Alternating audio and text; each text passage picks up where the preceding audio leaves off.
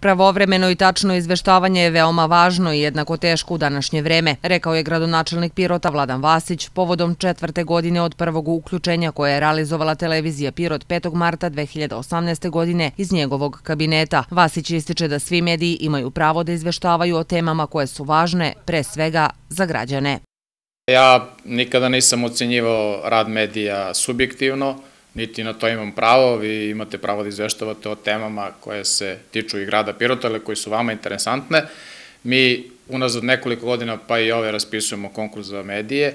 Mislim da su svi dobili uh, onoliko sredstava da mogu normalno da funkcionišu. Naravno da grad Pirot nije jedini izvor sredstava za lokalne medije i za medije koji izveštavaju u Pirotu, da su tu i ministarstva i drugi izvori sredstava, ali mislim da smo mi dobra okosnica da rad medije u Pirotu može normalno da funkcioniše. Govoreći o investicijama grada za ovu godinu, gradonačelnik kaže da se nada da povećanje cene energenata neće bitno ili previše uticati da se završe planirani poslovi. Ove godine biće uloženo oko 4 miliona evra u investicije. Planirano je asfaltiranje ulica, uređenje trotoara, izgradnja objekata, uređenje puteva i infrastrukturnih objekata u selima. Iz gradskog budžeta ove godine izdvojeno je 35 miliona dinara za uređenje vrtića prečkolske ustanove Čikajova Zmaj. Očekuje da se i u naselju naselju Senjak otvori vrtić.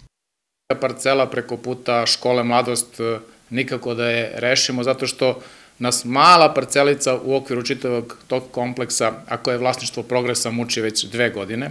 Ja zaista ne shvatam neažurnost Agencija za litniciranje stečanih upravnika i direkcije za imovinu, kako se ponašaju prema svojoj imovini. Mi želimo to da kupimo, a da onda ceo čitav kompleks stavimo na prodaju, da bi se tamo gradili stanovi, između ostalog i vrtić. Ja se nadam da će privatni vrtić koji je tamo pri kraju ili e, već potpuno završen e, biti stavljen u funkciju, što će značajno rasteretiti e, kapacitete našeg vrtića, naravno u tom delu grada.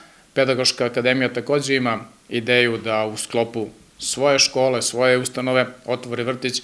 Mi sve to pozdravljamo.